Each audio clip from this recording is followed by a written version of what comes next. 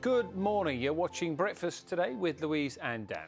Uh, right after the programme this morning, the Rip Off Britain team will be continuing a special week of live programmes. Angela, Julia. Later on, uh, we're here until 9.15 and then the Rip Off Britain team take over. Yes, um, Sally's here to talk to us about. I mean, I just don't even. She's, she's inspired.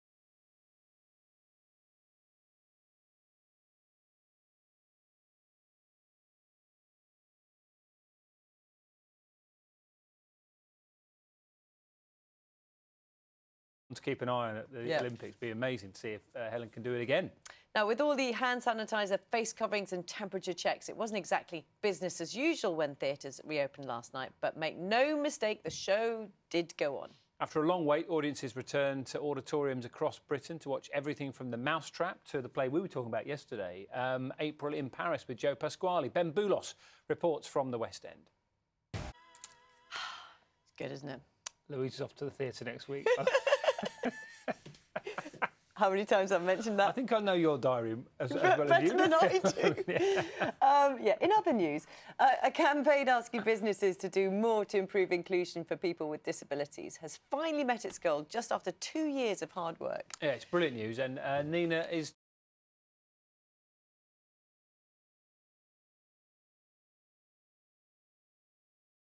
If you're wondering what's happening with the weather today, you can listen to what Carol's got to say, but you can also have a look at her gorgeous backdrop because she has been all morning at the top of the London Eye. Morning, Carol. Enjoyable to be able to see it as well, and just such a lovely day. Thank you. Lovely. Only Carol can get the London Eye to stop as well. It, stop, it stops for Carol's weather throughout the day. Is that right, Carol? They've stopped it for you every time. She's gone. She's gone. They're putting it down. Uh, it's 8.53. Now, last year, as uh, staying in became the new going out, we got used to that, didn't we? We swapped the pub for the sofa. Uh, getting lost in a good book has proved incredibly popular. Yep, sales soared. A TV book club series Between the Covers aims to celebrate the nation's joy of reading and sees well-known celebrity faces give their thoughts on some of this year's most in-demand novels. Uh, radio DJ Sara Cox hosts the show and delighted to say uh, Morning. she joins us.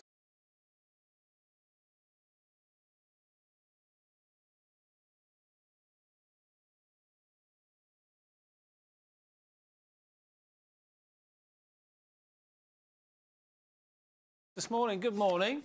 Oh, I'm disappointed you haven't. I'm disappointed you haven't got bookshelves behind you. Then we can see what you've been reading. My bookshelf. Is that right, Cal? They've stopped it for you every time. She's gone. She's gone. They're putting it down. Uh, it's 8.53. Now, last year, as uh, staying in became the new going out, we got used to that, didn't we? We swapped the pub for the sofa. Uh, getting lost in a good book has proved incredibly popular.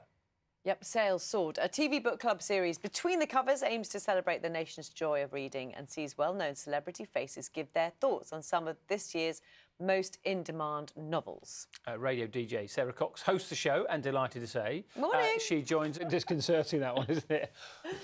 Um, so tell us, um, so it, it, it, mean, that was the thing about the pandemic, wasn't it? Lots of us turned to reading, didn't we? Gone crazy, haven't they? And I think, as, as well as people have been watching TV, a lot of people have been reading books, and also, which is perfect for your programme, talking about them to other people.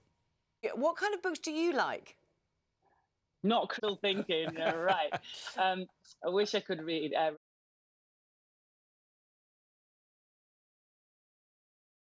That's what I wanted to ask you about because we heard from Helen Glover, who's basically fitting in her exercise around her children, around her life. So, where, have you found yourself Yeah. having to read at all times while you're doing loads of other stuff? Thank so you. lovely to see you both. Bye. See you later, Um, the next episode of Between the Covers will be on Monday evening, 7.30 on BBC Two, and you can catch up with the series so far on the iPlayer as well. Are you watching BBC Breakfast? I'm sure you know that. It is 8.59.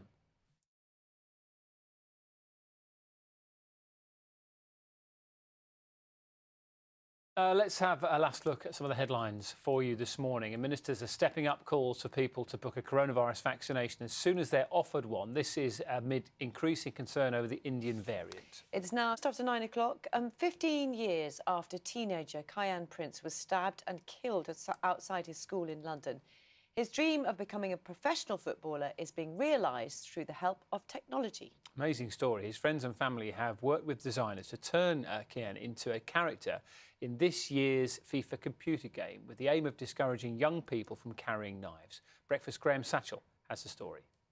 Such an amazing idea. A little bit earlier on the programme, Kiyan's father, Mark, told us what he would say to any young person considering going out with a knife.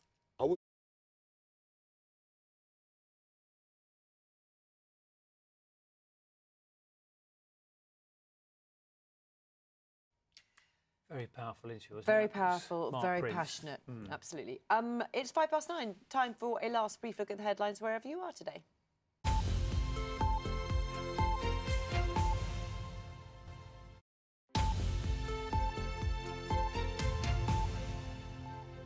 Now, uh, many of you watching might recognise the big five as some of the most powerful, majestic animals in the wild, but the name was originally used to describe those hardest to hunt on foot. Yeah, with trophy hunters hitting the headlines in recent years, a photography project aims to challenge the perception of the word shooting and instead celebrate the animals through the lens of a camera. Let's have a look at some of the photos or photographs. Um, Graeme Green is one of the photographers. Thank you so much for joining Hi, us. We'll, we'll come to the photos in a minute, but there were sort of these original big five, weren't there? And you've moved this on because it's important to you, isn't it? Uh, means an awful lot to you as well. And, and talking about the importance of language, you took, picked up on the word shooting there. Um, the term Big Five, because we mentioned it in the introduction there. Tell us about the story about how that term sort of originated.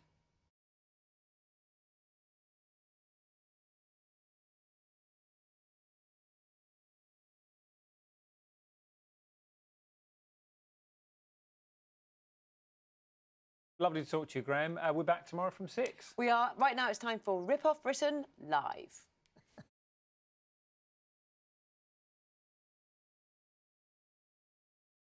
That's going to get me going. Does that set you off, Louise? You're right. It Just feels like it's been such a long time, Oh, It's been isn't it? Such a long time, hasn't it? Gosh. Anyway, um, headlines will be coming up in just a moment.